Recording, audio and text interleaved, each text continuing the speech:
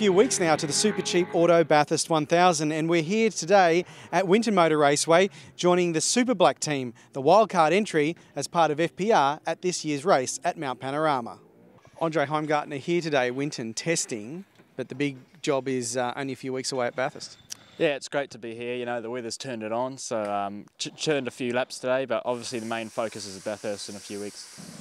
It was important though to get this tested. Um, yeah, very important. You know, we didn't want to turn up to Bathurst not have driven in the car before, so it's good for me and Ant to get comfortable today.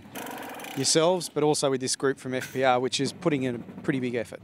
Yeah, the car's fabulous. You know, they put in a mega effort over the last uh, two or three uh, months, and you know they, they haven't been um, just sitting on their uh, bums, so they uh, have really put a good effort. The car's fantastic. What are your expectations going up to Mount Panorama? Um, my expectations are that we'll finish the race. Um, we're not really putting any pressure on ourselves to win win the thing or um, come in the top 10. Um, obviously, it'd be a bonus, but just to finish and get that checkered flag would be amazing. A dream come true. And it's an all Kiwi team, very much uh, the black, the All Blacks are back.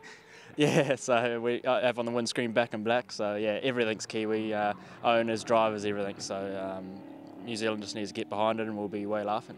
Ant Pedersen, this is a big deal for um, Super Black Racing and for a Kiwi driver, isn't it? Yeah, massive, massive challenge. Um, really excited for for what's ahead of us, you know, the next few weeks, and, and obviously the event. But um, don't underestimate the challenge. Um, you know, big step, but uh, looking forward to it. Absolutely. Enjoyed the test today? Yeah, it's been great. It's um, it's been really good, um, real thorough, uh, great weather. So obviously we can maximise our time on the track. Um, we had a plan, and uh, we, have worked through that plan to good effect. So, you know, that um, you know, that's going to help us come come the weekend. You've had experience in a range of different cars, but even supercars. But these are different again. These car of the future things aren't. Yeah, I'm quite. My experience in supercars is quite limited. You know, obviously this this year in the DVS, but um, yeah, the car of the future is different but it's great as well. Like I'm really enjoying the car. Um, I get out with a big smile every time, so it's not all bad. But uh, yeah, there are subtle differences, the little nuances of the car um, that you've got to try and pick up and fast track your learning, I suppose. So um, yeah, for us, that's what today was about. You get up to Bathurst, 161 laps, 1,000 kilometres. It sounds like a long way, but the day goes like that, doesn't it? Does it? Yeah. Look, um, I've done it before and it went pretty quick. Um, I'm expecting you know, Sunday for us to, to go quick as well.